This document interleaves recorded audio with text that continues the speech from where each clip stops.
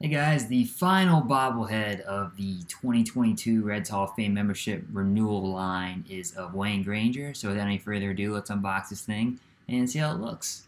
So here is the bobblehead.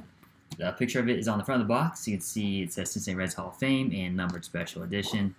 This side has the perks of being a Reds Hall of Fame and museum member. This side of the box is a little bit about Wayne Granger's career, and this side has his Reds Hall of Fame and museum plaque, as well as what his autograph looks like. So this was actually the first bobblehead of the uh, membership renewal line that I had seen. Uh, I saw this back in the summer 2021. Bobble Sniper actually posted this on his Instagram page. And I was like, whoa, never seen this before. Was this given out during the red season? Um, so tagged around, uh, tried to ask him what it was. I didn't get a response. Uh, asked AGP, the makers of the bobblehead, and they told me they just made it for the Reds Hall of Fame.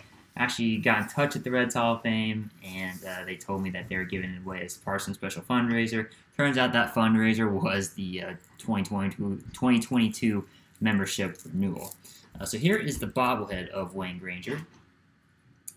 Um, looks good. He's in a pitching motion. Uh, it's got the arm cranked back with the ball in it guy's name in white letters on the red bordered base, Disney sponsorship plaques, wearing the old 70s style uniform, red hat with the green underbill.